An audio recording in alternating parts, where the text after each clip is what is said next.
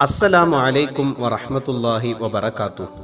നഹ്മദുഹു വനുസല്ലി അല മുഹമ്മദിൻ വഅല ആലിഹി വസ്വഹ്ബിഹി അജ്മഈൻ. അമ്മാ ബഅദ്. അബൂ അറുത്തു മുറിച്ചുള്ള നിലപാടിനെ തുടർന്ന് ഖുറൈശികൾ മുസ്ലിങ്ങളെ വേട്ടയാടി തുടങ്ങി. അബൂബക്കർ ബിലാൽ അമ്മാർ അവരുടെ മാതാവ് സുമയ്യ ഹബ്ബാബ് സുഹൈബ് ആമിർ റലി അള്ളാഹു അൻഹു മജുമൈൻ എന്നിവർ കഠിനവും നിഷ്ഠൂരവുമായ മർദ്ദനങ്ങൾക്ക് വിധേയരായി. കാബയുടെ മുറ്റത്ത് വെച്ച് ഉഖബത്തുബിനു അബി മൊഴത്ത് തിരുനബി സല്ലാഹു അലഹി വസല്ലമ തങ്ങളുടെ കഴുത്തിൽ മുണ്ടിട്ട് വലിച്ചു മുറുക്കി രംഗം കണ്ട് അബൂബക്കർ റളിയല്ലാഹു അൻഹു ഓടിയെത്തി നബിയെ രക്ഷപ്പെടുത്തി. എന്റെ റബ്ബ് അള്ളാഹുവാണെന്ന് പറയുന്ന വ്യക്തിയെ നിങ്ങൾ വധിക്കുകയാണോ? എന്ന് അദ്ദേഹം അവരോട് ചോദിച്ചു.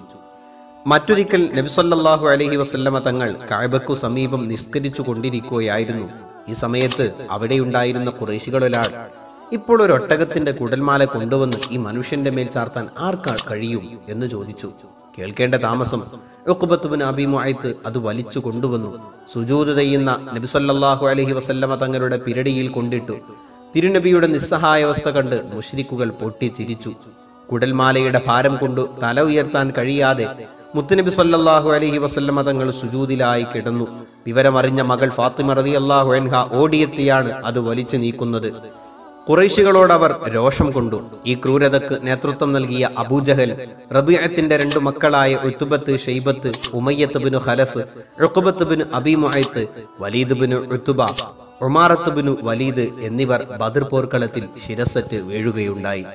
തിരുനബി സല്ലാഹു അലഹി വസല്ലമ തങ്ങളോട് തീരാത്ത പകയായിരുന്നു. അബൂജഹലിന് എന്തും ചെയ്യും. ഒരിക്കൽ അവൻ പറഞ്ഞു കുറേശികളെ ഞാൻ മുഹമ്മദിന്റെ കഥ തീർക്കുകയാണ്. അവനെ നാളെ സുജൂതിൽ കിടക്കുമ്പോൾ വലിയ കല്ലെടുത്തിട്ട് തല തകർക്കുമെന്ന് ഞാൻ ശപഥം ചെയ്തിട്ടുണ്ട്. അബൂജഹലിന്റെ ആവേശം കണ്ട് ശത്രുക്കൾ ആഹ്ലാദിച്ചു. പിറ്റേന്ന് തക്കം നോക്കി നിന്ന അവന് പക്ഷേ മുത്തുനബി സല്ലാഹു അലഹി വസല്ലമ തങ്ങളെ കാണാനായില്ല. മറ്റൊരിക്കൽ അബൂജഹൽ കൂട്ടാളികളോട് അഹന്തതയോട് ചോദിച്ചു മുഹമ്മദ് അവന്റെ തല മണ്ണിൽ വെക്കാറുണ്ടോ? ഉണ്ട്. അപ്പോൾ ലാത്ത ഉസ്സ വിഗ്രഹങ്ങളെ വിളിച്ച് ആണയിട്ടുകൊണ്ട് അവൻ പറയാണ് ഇനി അവൻ അത് ചെയ്യുന്നത് കണ്ടാൽ ഞാൻ അവന്റെ പിരടിക്ക് ചവിട്ടി മുഖം മണ്ണിലിട്ട് ഉരസുക തന്നെ ചെയ്യും.